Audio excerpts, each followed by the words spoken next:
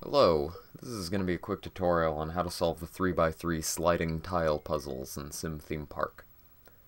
The basic algorithm I'm going to use is that you you effectively want to solve the top row, then the left column, and then let the other pieces just fall into place, which they should every time. Like I said, top row, get the top left piece into place. The next thing you're going to want to do is get uh, something like the top middle piece into the top right, and then get the top right piece right behind it, so you can slide those into place together. Uh, then for the left column, you're going to want to do something similar. Uh, you're going to want, for example, the left middle piece and the left bottom, and then get the left bottom piece uh, right behind it, so you can slide those into place together and then you can see the other pieces just work out every time. You did it! You won! Congratulations! You might end up in positions like you saw when I was doing that last puzzle, where something like this, where the top right piece is already in place, and your instincts are going to be saying, no, leave it there, it's part of a completed puzzle, but that's not right. You need to slide the uh, top pieces into place together or else it's just never going to work out. The same thing is happening right here, where I have the left middle piece into place already. I'm going to want to move it to the left bottom corner, and then get that corner tile in place next to it, and slide them in place together. You did it! You won! Congratulations! Once you do this a few times, it you start getting better at it. It makes a lot more sense. This is a very lucky one. That might be the fastest I've ever solved one of you these won. puzzles. Just from Congratulations! Luck of the sliding, actually.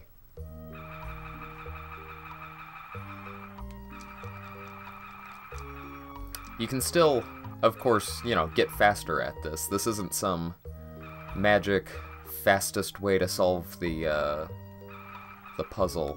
There we go. Uh, it is still a little bit challenging, of course.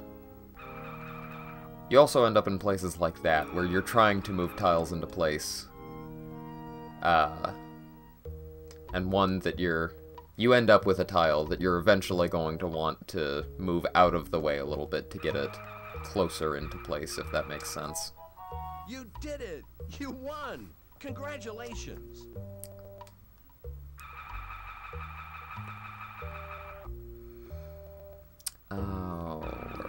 Tiles I want? There they are. Yeah, you can see it again here, where I want to move that there, but then the next thing I need to do is get the uh, left middle piece there, which doesn't work from where I am.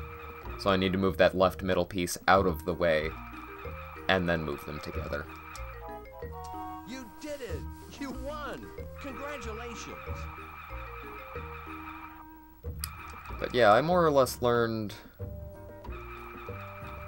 this algorithm uh, pretty much earlier today.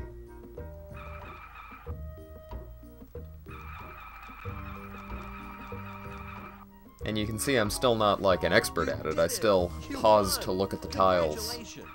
But overall, it's it's gotten so much easier than than it was before. I haven't failed a puzzle yet, which still happened sometimes in the past.